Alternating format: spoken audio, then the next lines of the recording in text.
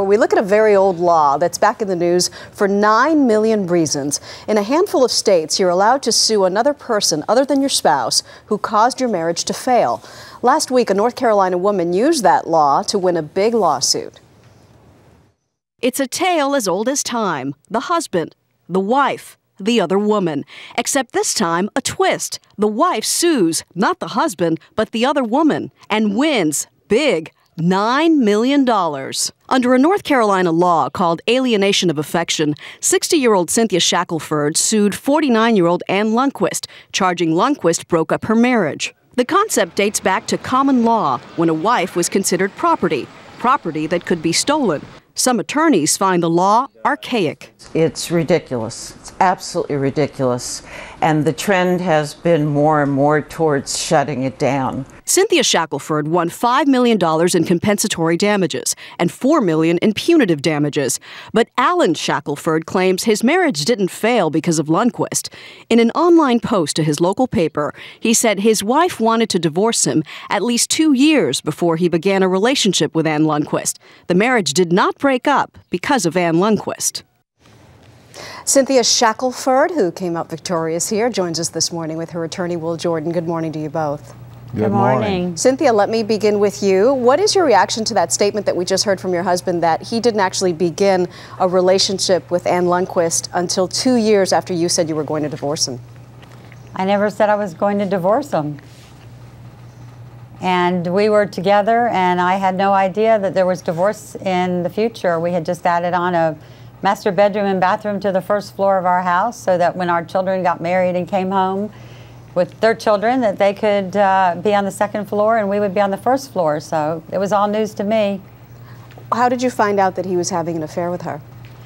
Um, I found out, I, I, I didn't believe it. I, I, felt it, but I didn't believe it because I trusted him. And he had told me that they were just friends. And anytime any affair was mentioned, it was alleged. So um, I just I just kept on and on and just saw the path of our marriage was not doing well and it seemed like she was always calling our house and he was always taking her home and one thing led to another. And then you, you get this idea to, to sue her. Why her? She is not the one who vowed to be with you forever. He is. That's correct. But she is the one that came in between us as far as her luring ways, and which I had plenty of proof from emails, phone records, spending, that she alienated him from me. She used work and other ish, other ways to get in and get friendly with him and and it just it's like those lifetime movies or whatever that mm -hmm. you mm-hmm. see that uh, she just she just worked her way and this lawsuit does claim that alienation of affection. Did you think that you'd have a shot at winning? Did I think I have a shot at what? At winning? Oh, yes. I, I felt that was a, a definite case. I had plenty of evidence and witnesses. Was it about the money for you? Because uh, she says that she doesn't have $9 million to give you.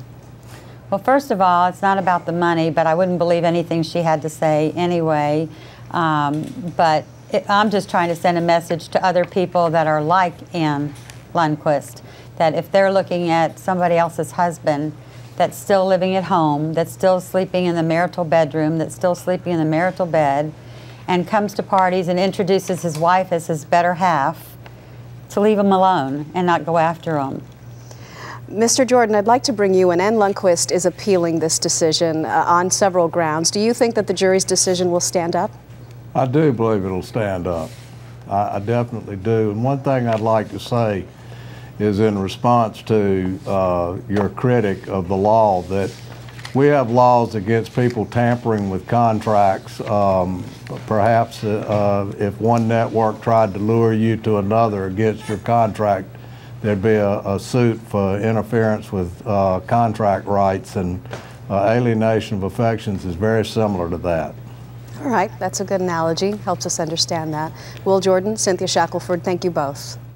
A lot happens early on The Early Show, weekday mornings on CBS.